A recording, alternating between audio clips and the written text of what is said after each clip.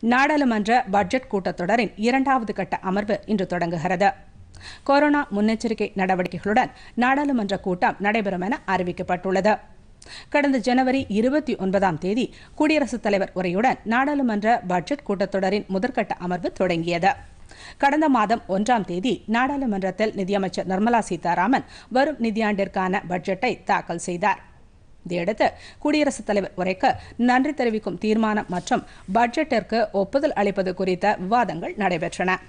இதனையடுத்து மாநிலங்களவை கடந்த மாதம் பனிரெண்டாம் தேதியும் மக்களவை பதிமூன்றாம் தேதியும் ஒத்திவைக்கப்பட்டன. நிலையில் இரண்டாவது கட்ட அமர்வு இன்று தொடங்குகிறது.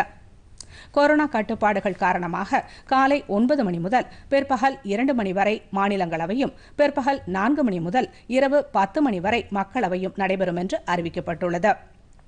கொரோனா தடுப்பூசியை நாடாளுமன்ற உறுப்பினர்கள் போட்டுக்கொள்ள ஏதுவாக நாடாளுமன்ற வளாகத்தில் தடுப்பூசி மையம் அமைக்கப்பட்டுள்ளது. இந்த தடுப்பூசி மையத்தில் காலை பத்து மணி முதல் மாலை ஐந்து மணி வரை நாடாளுமன்ற உறுப்பினர்கள் தடுப்பூசி செலுத்திக் கொள்ளலாம் என்று தெரிவிக்கப்பட்டுள்ளது. இது தவிர நாடாளுமன்ற உறுப்பினர்களின் குடும்பத்தினர் தடுப்பூசி செலுத்திக் கொள்வதற்காக இரண்டு மையங்கள் ஏற்படுத்தப்பட்டுள்ளன.